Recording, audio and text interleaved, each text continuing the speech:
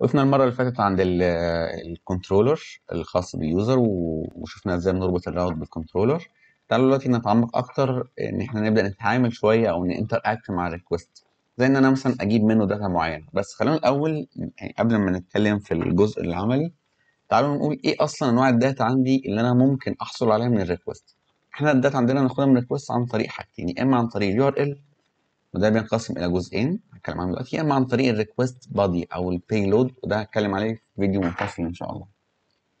اللي إحنا هنتكلم عليه دلوقتي ال data ناخدها من ال URL دي اللي هو ال URL اللي إحنا اتكلمنا على ال structure بتاعه قبل كده هو بيبقى فيه ال domain بعد كده ال path بعد كده ال query string بعد كده آخر جزء اللي هو ال fragment أو ال hash ال hash ده مالناش دعوة بيه ده خاص بال UI أكتر من أي حاجة تانية. اللي إحنا محتاجين بقى نتكلم عنه إيه؟ هما الجزئين الاساسيين اللي هو ال route path وال query string. ال query string زي ما إحنا قلنا اللي هي اللي بتبدأ بعلامة استفهام بعد كده بقى أي content بيجي وراه ده كله بيندرج تحت ال query string. هو ال syntax بتاعته عبارة عن key value pair بتبقى بالمنظر ده.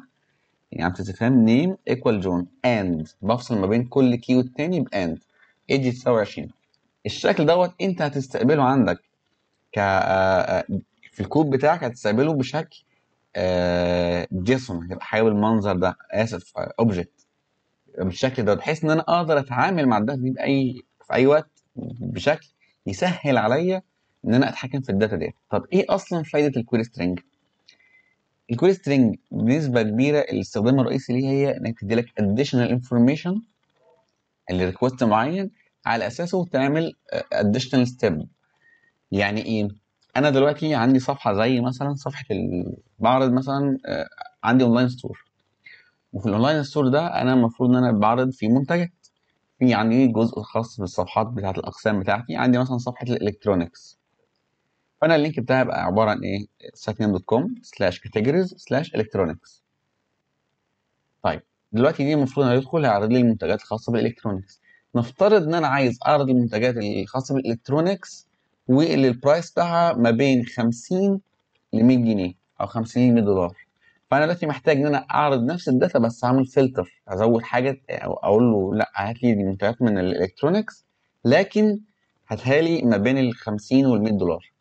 فأنا هنا دلوقتي هيبقى نفس ال URL عشان ما أعملش request جديد زود علامه استفهام أقول له min price equal 50 and max price equal 100 فأنا ساعتها بقى check والله هو لو في ال- route بتاع دوت أو ال request بتاع ده جالي min price أو max price آه ساعتها أبدأ أعمل filtration أو أبدأ أفلتر ال data ديت بناء على ال query string فده بشكل أساسي ال query string ممكن أستخدمه زي flags أو حاجات تعرفني آه، آه، لو أنا قلت له لو دي موجودة في ال query string بتاعتك أنا هاخد اكشن معين أو على أساسه هعمل حاجة عندي في ال server بتاعي.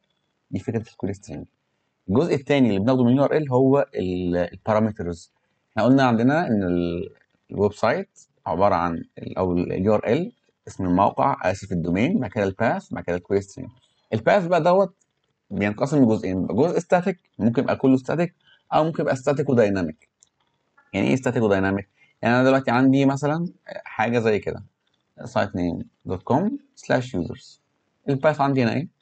هو ال slash users طيب لو أنا جيت قلت له slash users slash واحد فده كده أنا عندي ده ال user ID equal واحد. أنا بقول له أنا عايز ال user دي رقم واحد.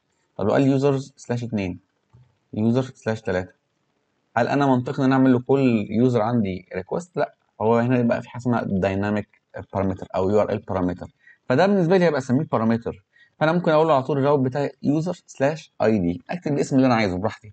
فأنا ساعتها أقدر آخد ال value اللي بعد المسار ده أقدر أخليه أخزنه عندي في ال object بتاعي أو ال ال ال مثلا في ال case بتاعتنا سواء Fastify أو اكسبريس أو ايا كان ال ال engine أنت بتشتغل عليه عشان بيهندل لك ال request بيحول لك ال value ديت أو بيخزنها لك في ال- parameter اللي أنت معرفه.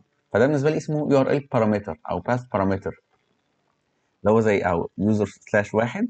ال parameter عندي هنا إيه؟ هو الواحد. طيب ده أنا بعرفه إزاي بقى؟ تعال ناخد مثال إن أنا آجي عند الراوتر عندي هنا. ممكن نيجي نعمل آه route جديد أقول له router dot get slash users slash ID أقول له مثلا get user تعال نعمل ال controller ده سريعا. get dash user dot ts أقول له export sorry export default function get user. آه هقول له return. هنا بقى أنا محتاج أستقبل ال request قال له هنا return request dot params dot id أو ممكن نخليها ك object نرجع له ك object return id خليها مثلا دي خليها مؤقتا بس تبقى any لغاية لما أقول لكم هنظبط إزاي ال structure بتاعنا بعدين ال type بتاعتنا. عملت لها import أنا قلت شغل ال server. أروح على المسار بتاعي. طبعا إحنا ما عندناش هنا المسار ده فاقول له slash users users slash واحد 12 مثلا. فأنا جاب إيه؟ ال ID 12 أي حاجة اكتبها فوق automatically هتيجي عندي أي حاجة ايا كانت مش هي مش هيقول لي لا دي مش شغالة ودي شغالة. فدي فكرة إن أنا أجيب ال data عن طريق ال payload بتاعي أو ال parameter بتاعتي اللي هو ال URL parameter اللي هو ال ID طيب تعالى ناخد ال request مثلا بتاع ال users العادي. نفترض إن أنا عايز أجيب ال users مثلا هنا اللي ال- عايز مثلا أقول له لا ده هات لي ال user مثلا اللي ال min age بتاعه آه، 50 فممكن أجي أقول له فوق هنا كده علامه الاستفهام min age equal 50 طبعا أنت بالنسبة لك مش في حاجة تتغير هنا أنا بس غيرت ال URL فوق. فلو عايز أجيب ال- الجزء الخاص بال query string ده فاقول له هنا برضو request يعني هنا ده بقى اسمه request query هقول له const ال query بتاعتي هتساوي request dot query فأنا دلوقتي عندي ال parameters بترجع في key اسمه params ال query string بيرجع في key اسمه query فممكن أقول له هنا على طول return أو على طول return ال query ال object يرجع والله لو مفيش حاجة يعني مفيش URL عندي فوق خلاص مفيش حاجة هترجع. أهو ال min age 50 يعني أنا دلوقتي جيت مسحت ده. إيه اللي هيحصل؟ object فاضي. جيت ضفت آه علامه استفهام test equal 12 إيه اللي هيحصل؟ طب قلت test بس empty string. طب test ب true عادي.